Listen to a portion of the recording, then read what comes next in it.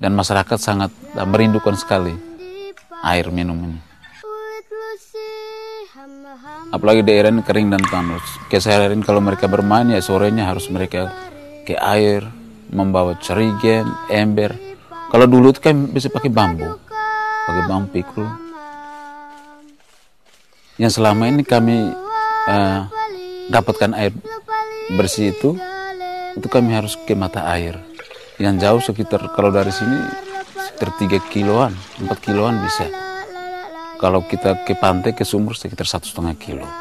Ya harapan ke depan masyarakat bisa menikmati akses air minum bersih yang lebih dekat